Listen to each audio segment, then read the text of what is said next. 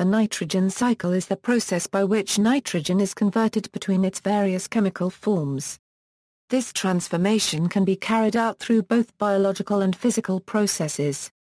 Important processes in the nitrogen cycle include fixation, ammonification, nitrification, and denitrification. The majority of Earth's atmosphere is nitrogen, making it the largest pool of nitrogen.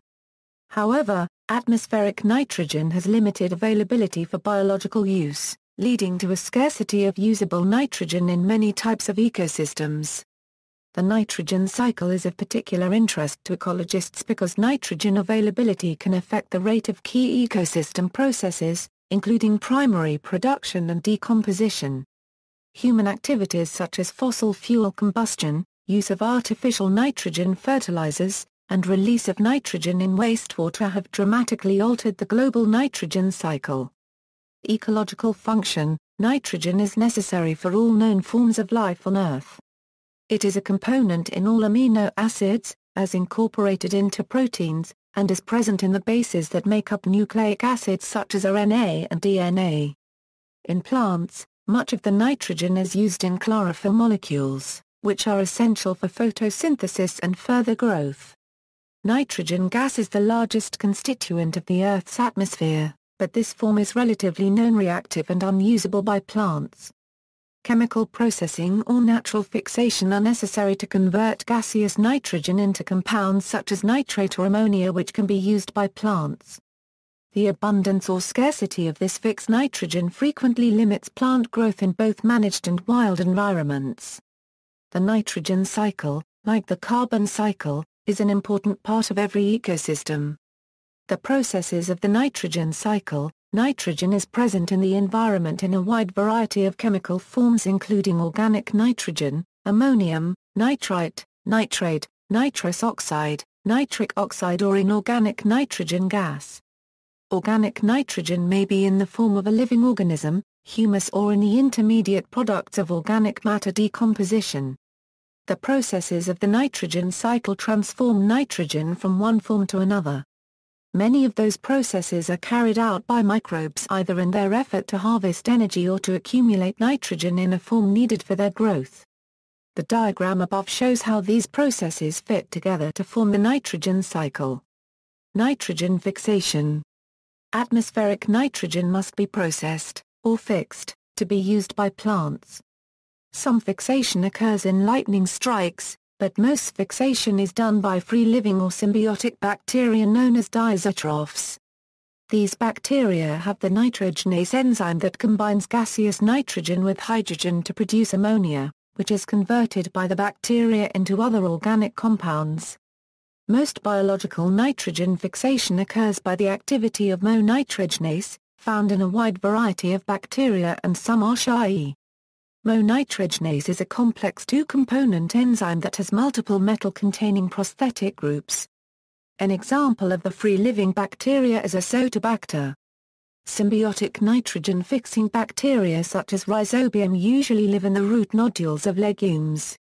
Here they form a mutualistic relationship with the plant, producing ammonia in exchange for carbohydrates.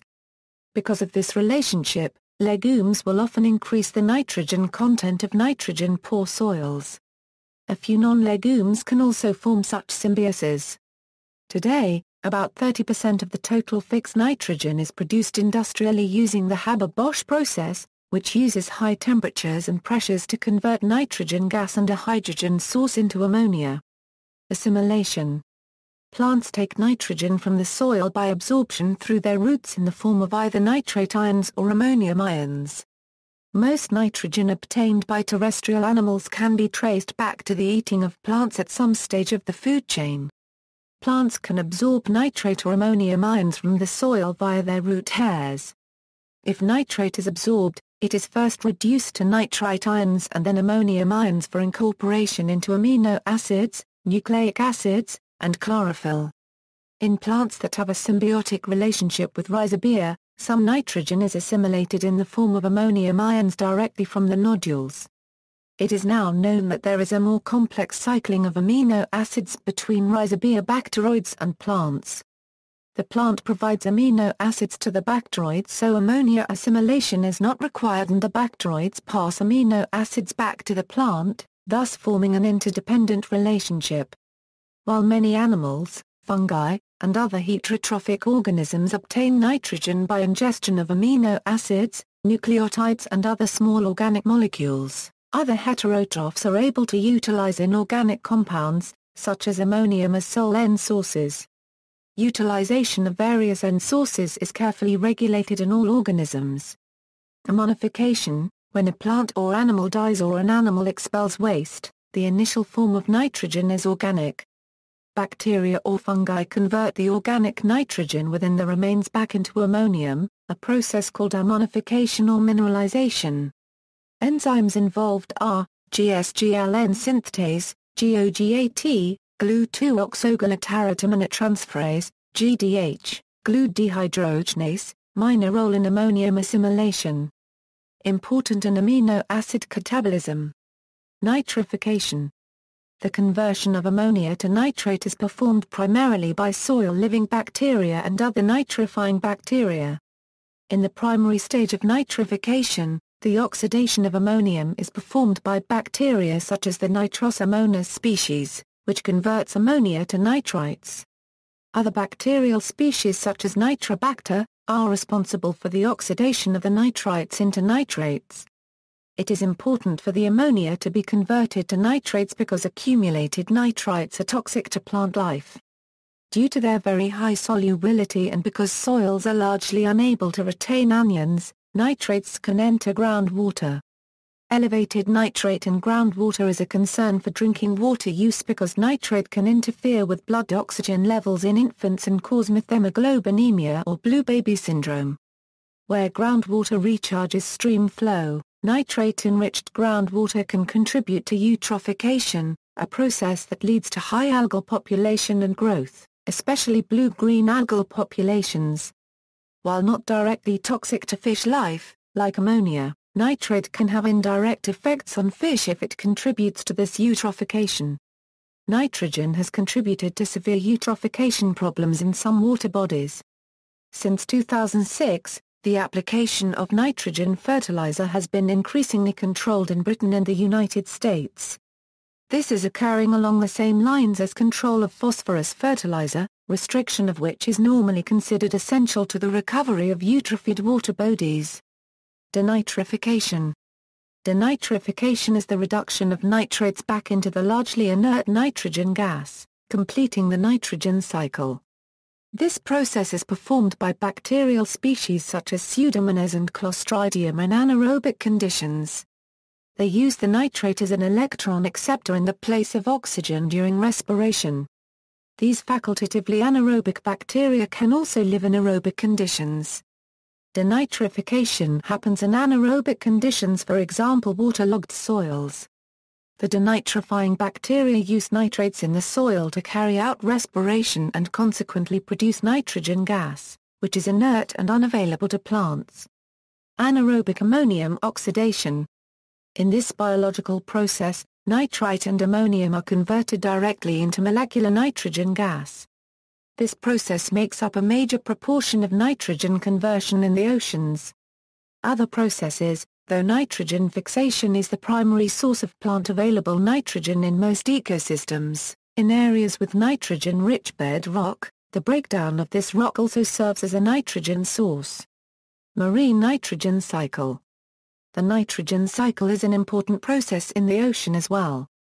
While the overall cycle is similar, there are different players and modes of transfer for nitrogen in the ocean.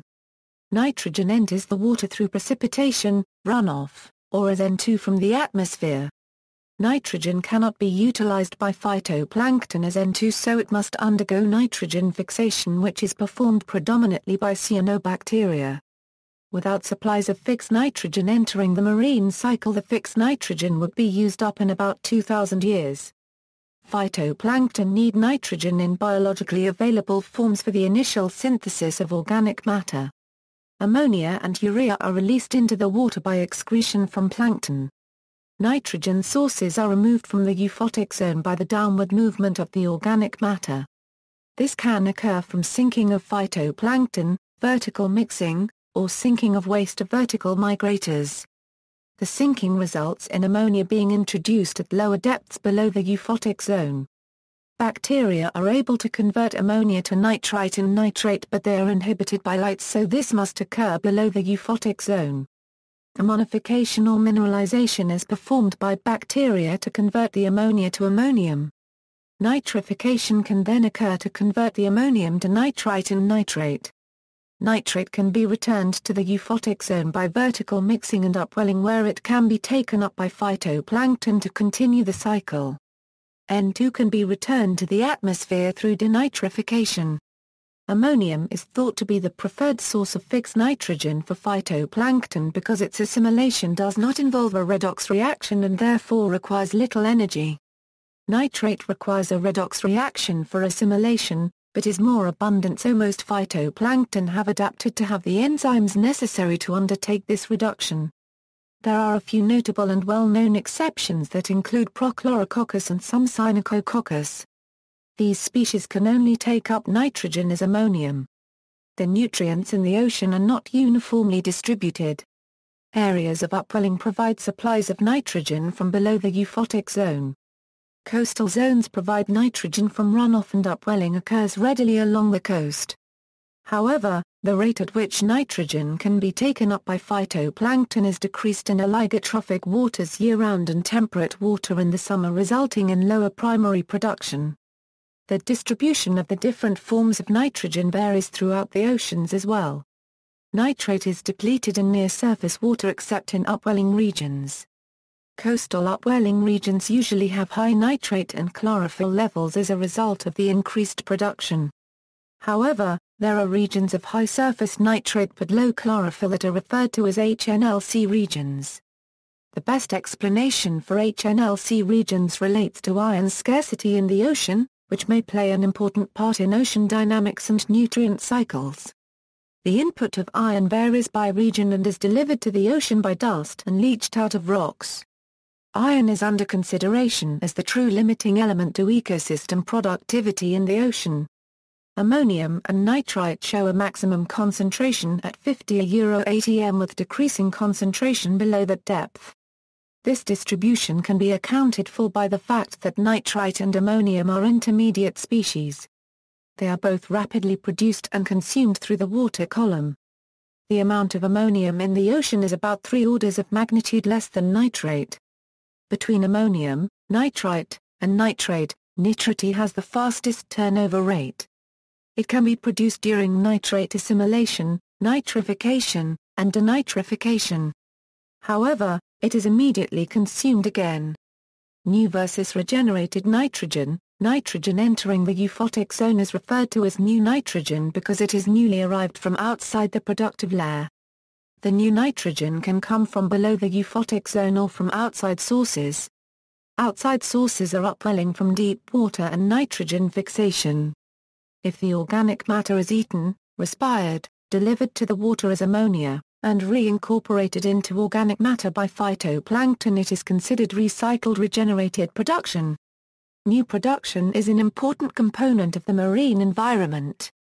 One reason is that only continual input of new nitrogen can determine the total capacity of the ocean to produce a sustainable fish harvest. Harvesting fish from regenerated nitrogen areas will lead to a decrease in nitrogen and therefore a decrease in primary production. This will have a negative effect on the system. However, if fish are harvested from areas of new nitrogen the nitrogen will be replenished. Human influences on the nitrogen cycle as a result of extensive cultivation of legumes, growing use of the Haber-Euro-Bosch process in the creation of chemical fertilizers, and pollution emitted by vehicles and industrial plants, human beings have more than doubled the annual transfer of nitrogen into biologically available forms. In addition, humans have significantly contributed to the transfer of nitrogen trace gases from Earth to the atmosphere and from the land to aquatic systems. Human alterations to the global nitrogen cycle are most intense in developed countries and in Asia, where vehicle emissions and industrial agriculture are highest. Nitrous oxide has risen in the atmosphere as a result of agricultural fertilization, biomass burning, cattle and feedlots, and industrial sources. N2O has deleterious effects in the stratosphere, where it breaks down and acts as a catalyst in the destruction of atmospheric ozone. Nitrous oxide is also a greenhouse gas and is currently the third largest contributor to global warming, after carbon dioxide and methane. While not as abundant in the atmosphere as carbon dioxide, it is, for an equivalent mass, nearly 300 times more potent in its ability to warm the planet. Ammonia in the atmosphere has tripled as a result of human activities. It is a reactant in the atmosphere, where it acts as an aerosol, decreasing air quality and clinging to water droplets, eventually resulting in nitric acid that produces acid rain. Atmospheric ammonia and nitric acid also damage respiratory systems. The very high temperature of lightning naturally produces small amounts of NOx, NH3, and HNO3, but high-temperature combustion has contributed to a six- or seven-fold increase in the flux of NOx to the atmosphere. Its production is a function of combustion temperature, the higher the temperature, the more NOx is produced. Fossil fuel combustion is a primary contributor, but so are biofuels and even the burning of hydrogen. The higher combustion temperature of hydrogen produces more NOx than natural gas combustion. Ammonia and nitrous oxides actively alter atmospheric chemistry. They are precursors of tropospheric ozone production, which contributes to smog and acid rain, damages plants and increases nitrogen inputs to ecosystems. Ecosystem processes can increase with nitrogen fertilization, but anthropogenic input can also result in nitrogen saturation, which weakens productivity and can damage the health of plants, animals, fish, and humans. Decreases in biodiversity can also result if higher nitrogen availability increases nitrogen demand in grasses, causing a degradation of nitrogen-poor, species-diverse heathlands. Wastewater treatment, on-site sewage facilities such as septic tanks and holding tanks release large amounts of nitrogen into the environment by discharging through a drain field into the ground. Microbial activity consumes the nitrogen and other contaminants in the wastewater. However, in certain areas, microbial activity is unable to process all the contaminants and some or all of the wastewater, with the contaminants, enters the aquifers. These contaminants accumulate and eventually end up in drinking water. One of the contaminants most concerned about is nitrogen in the form of nitrate. A nitrate concentration of 10 ppm or 10 mg per liter is the current EPA limit for drinking water and typical household wastewater can produce a range of 20 Euro 85 ppm. One health risk associated with drinking water is the development of methemoglobinemia and has been found to cause blue baby syndrome. Several American states have now started programs to introduce advanced wastewater treatment systems to the typical on-site sewage facilities. The result of these systems is an overall reduction of nitrogen, as well as other contaminants in the wastewater. Environmental impacts Additional risks posed by increased availability of inorganic nitrogen in aquatic ecosystems include water acidification, eutrophication of fresh and saltwater systems, and toxicity issues for animals, including humans. Eutrophication often leads to lower dissolved oxygen levels in the water column, including hypoxic and anoxic conditions, which can cause death of aquatic fauna. Relatively sessile benthos, or bottom-dwelling creatures, are particularly vulnerable because of their lack of mobility, though large fish kills are not uncommon. Oceanic dead zones near the mouth of the Mississippi in the Gulf of Mexico are a well-known example of algal bloom-induced hypoxia. The New York Adirondack Lakes, Catskills, Hudson Highlands, Rensselaer Plateau and parts of Long Island display the impact of nitric acid rain deposition, resulting in the killing of fish and many other aquatic species. Ammonia is highly toxic to fish and the level of ammonia discharged from wastewater treatment facilities must be closely monitored. To prevent fish deaths, nitrification via aeration prior to discharge is often desirable. Land application can be an attractive alternative to the aeration. References